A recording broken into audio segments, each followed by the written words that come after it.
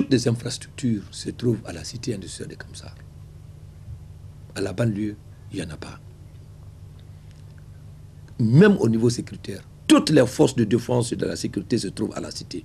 La cité qui ne représente même pas 1% de la population de Kamsar. Il faut corriger cette situation. Pendant les jours de fête, vous voyez les jeunes, les enfants affluer à la cité. Ça me fait mal quand je vois les enfants de banlieue venir pendant les fêtes à la cité et qu'on est là en train de les chasser. Alors, il faut créer l'équilibre entre la cité et la banlieue.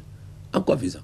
On a déjà identifié les sites, euh, par là et de l'autre côté des rails, pour pouvoir construire les centres de loisirs, à l'image des centres de loisirs de Kamayen ou les Blue Zones, ce qui va essayer de freiner les jeunes.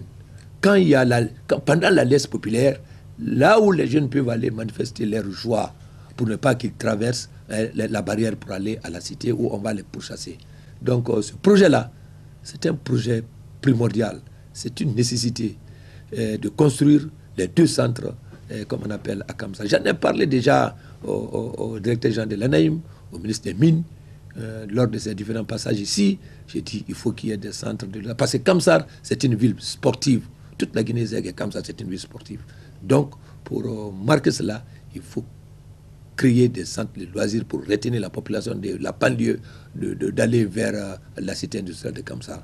C'est ce qui est prioritaire chez moi. Construire deux grands centres, de l'autre côté des rails et par là, vers Filima ou vers Kamsar Centre. Tout est possible.